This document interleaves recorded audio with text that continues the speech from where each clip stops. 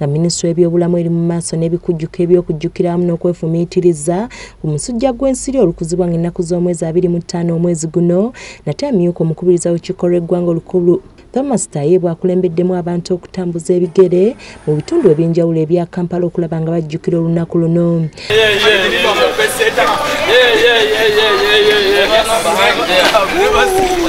mu kukulemberamu okutambula ku namyuka sipiika wa paalamenti thomas tayebwa alaze obweraliikirivu olw'obutimbe bw'ensimbi gavumenti bwekozesa mu kujjanjaba omusujja ogw'ensiri. And malaria affects our economy in a very significant way because it is calculated that we lose around 2.4 trillion 2.4 trillion per year because of the effects of malaria okusinziira ku thomas tayi bw'agamba nti obusa obuli mu bubiri n'obutundutundu buna ze zikozesebwa mu kulwanyisa omusujja gw'ensiri z'agamba nti zisobolera ddala okukola ebirala singa bannayuganda bafaayo nnyo okwewala saako n'okukwatibwa omusujja kw'ensiri. If you're a very good business person and you calculate that if you invest uh, 200 billion or 500 billion you save 2.4 trillion that would be good economics So let's not look at malaria only from an aspect of, uh, of people dying, of what, but also from the economic point of view. How much are we losing as a country?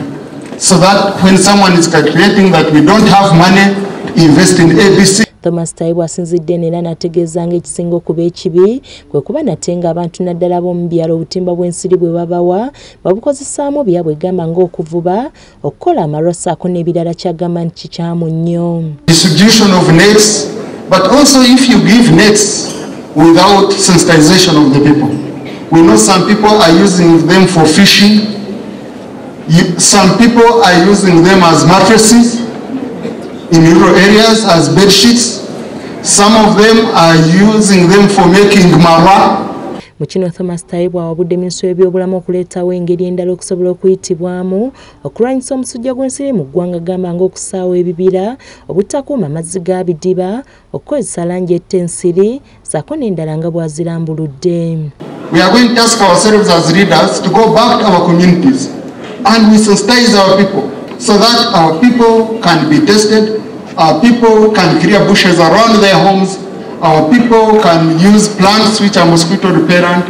and our people can use nets for the purpose they are meant to serve. Bw'atyo dr daniel kyabayinze era alambuludde ebitundu ebyenjawulo ebisingamu omusujja gw'ensiri ng'ebitundu bya western bye bisingidde ddala okubeera ku mwanjo olwo ne bigoberera ekya kalamojja. Uganda tulinawo ebitundu nga ebyekkalamojja tulina ebitundu nga bya west nile district zonna omwenda tulina ebitundu ng'ebyakyoli neramo musujja gw'ensiri gyekuli mungi n'ebitongole ebyenjawulo nga bikulembeddwamu ekya fosa mu farmer chief bisaba minisitule y'ebyobulamu okutandika okukeberanga abantu omusujja gw'ensiri kino kiguyambeko okukendeezebwa mu ggwanga kitegeeza bwetukwataganira wamu kwataganira wamu tumekinga ebyomusujja abantu babitegeera bayige kufuna muka obutimba